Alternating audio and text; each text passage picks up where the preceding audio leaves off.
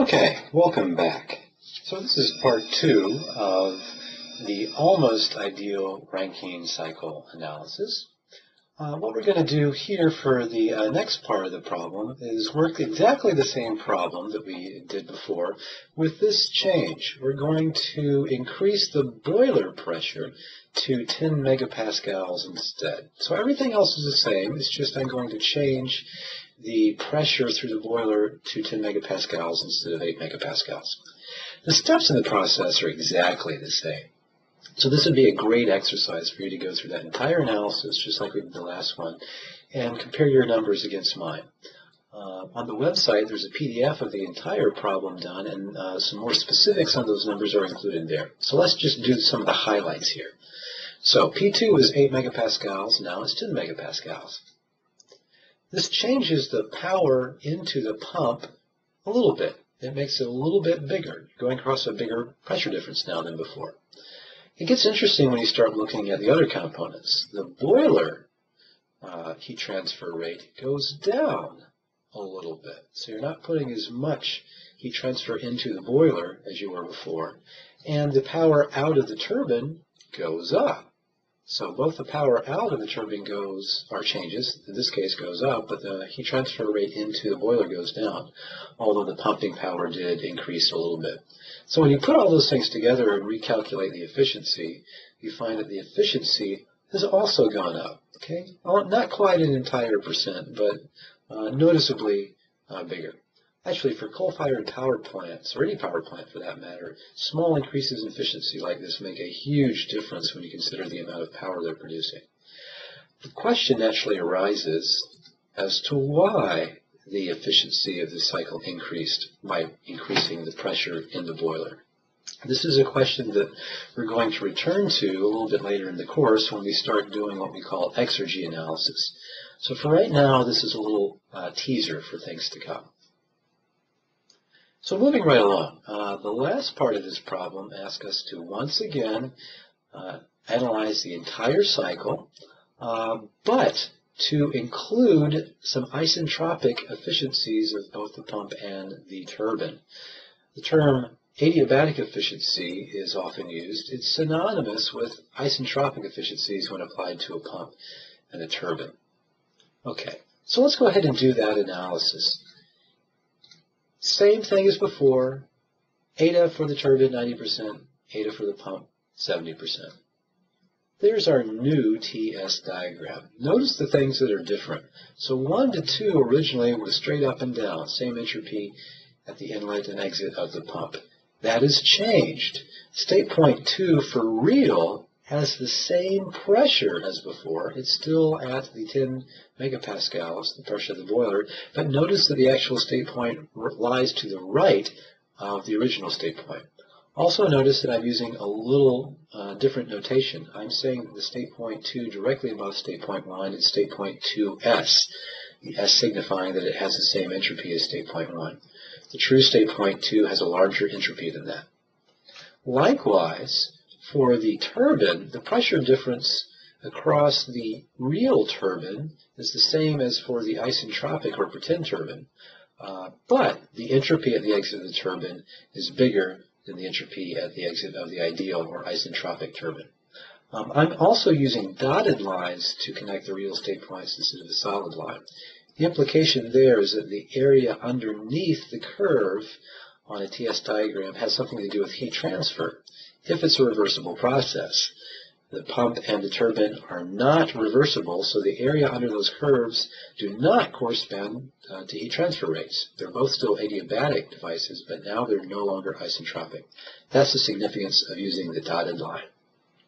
So there's our new TS diagram. Let's analyze the cycle.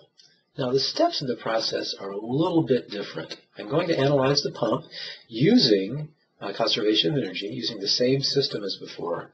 It looks much the same, but there are some differences. So, you can go back and look at the last uh, part of this video to find that the pumping power in is m dot times h2 minus h1, or that the specific power is h2 minus h1, having divided through by m dot. And as before, I can find h1 because I know the inlet conditions of the pump, 10 kilopascals and a quality of zero. I already have that number. Things change when I start thinking about what H2 is. H2 is a property of, or a function of two known properties of 2, but only one of the properties is currently known.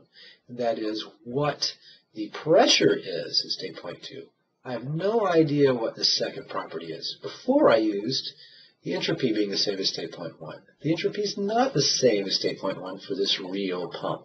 So it looks like I'm stuck. I only have one property at 2. I don't have enough to find what H2 is. That's where the isentropic efficiency comes into play. So the isentropic efficiency compares the performance of a, uh, an ideal pump to an actual pump. I know that number. I know that 70%. So the isentropic efficiency of pump is defined as the power that you put into an isentropic pump divided by the power that you put into a real pump. So ideal goes on top, real goes on bottom.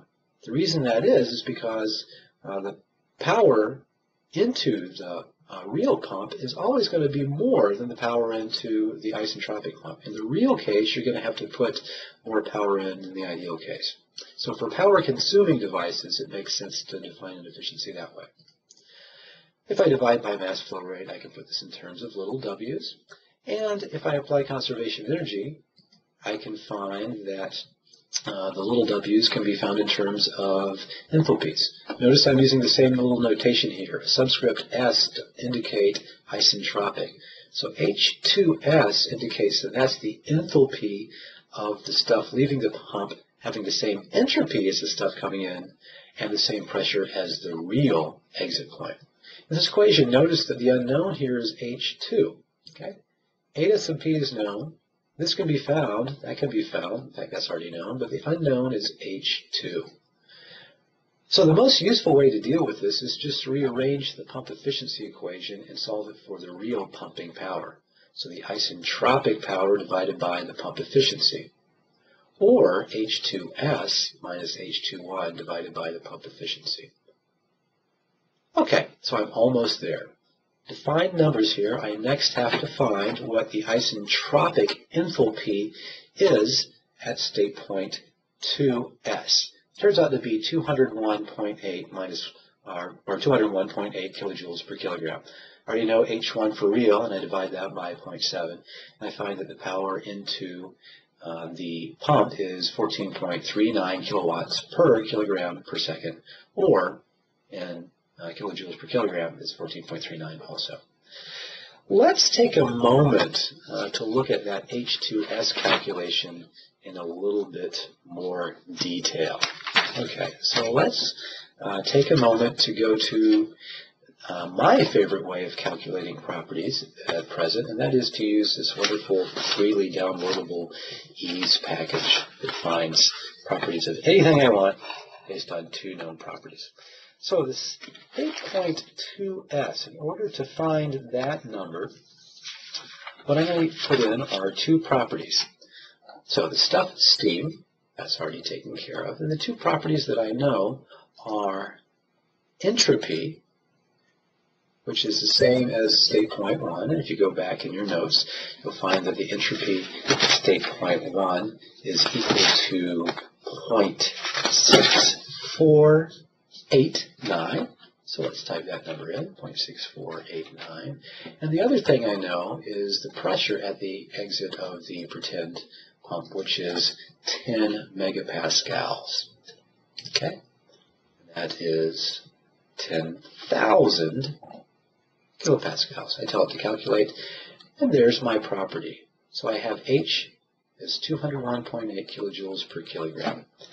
That's where I get the value for H2S. So the known properties are entropy, the same as state point 1, and the pressure 10 megapascals. There you have it. So that gives me the power into the actual pump. The interesting thing about using isentropic efficiencies is that you often find the power first, and then you use conservation of energy backwards to find the actual uh, state point. So I can uh, use conservation energy, that's equation 1 from before, and I use that to find H2. So the actual H leaving the pump is the uh, specific power of the pump plus H1, plug and chug, and you get 206.1 kilojoules per kilogram. Okay, so one thing that you don't want to mess up here is the confusion of these two state points. H2S and H2 have one thing in common. They're both at the same pressure. H2S is completely imaginary. H2 is the real state point. When we go on to the next piece of this problem, which is to calculate uh, the, I'm sorry, the boiler Q dot, I have to be sure to use H2 and not H2S. Okay. All right. So when I do uh, that and I come to the next step, which is to take a look at the turbine, the turbine analysis is very similar to the pump analysis. So again, skipping some steps in between here and there, conservation energy is going to reduce to uh, the power into the, or out of the turbine per unit mass flow rates, H3 minus H4. H3 is known in the problem statement. H4 is unknown. So as before, it looks like I'm stuck because all I have is the pressure at the exit of the turbine, but I don't have a second property. That's where the isentropic efficiency of the turbine comes into play. So the isentropic efficiency of the turbine is the power out of the turbine divided by the power out of the isentropic uh, turbine.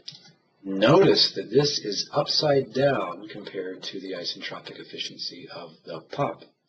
Why is that? Well, the pump and the turbine are different devices. The pump is designed to consume power, and ideally you consume uh, very little power to create uh, some desired effect.